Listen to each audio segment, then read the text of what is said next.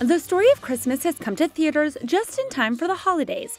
Told in a new way from the perspective of animals present at the birth, this family safe film shows the comedic side of this famous story. Oddly enough, there has never been an actual nativity story movie at Christmas time, which is crazy because it's been around for 2000 years and the movies have been around for 100 and some years. So um, it's about time. The nativity story has been told so many times that it is difficult to reimagine it in a new light.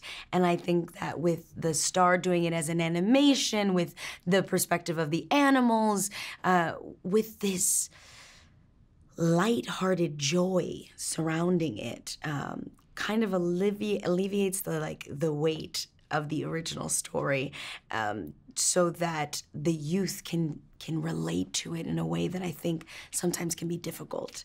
While the film definitely plays on the quirkiness of the animals, it does not lack the depth and seriousness that this time of year brings. Really, the vulnerable moments, the human moments of Joseph, were the ones that I treasure the most. And I remember voicing them and uh, and really, you know, even starting to cry, getting starting to get teary in in the actual voiceover session because I really wanted to, you know, I, I, I could feel it. I, I I felt the the the rawness and the vulnerability of those moments, and um, I'm just really grateful that we got to capture all that. The film features stars such as Kelly Clarkson, Oprah Winfrey, Tyler Perry, and Tracy Morgan, who have all joined forces to create this movie to highlight the greatest story ever told. The Star.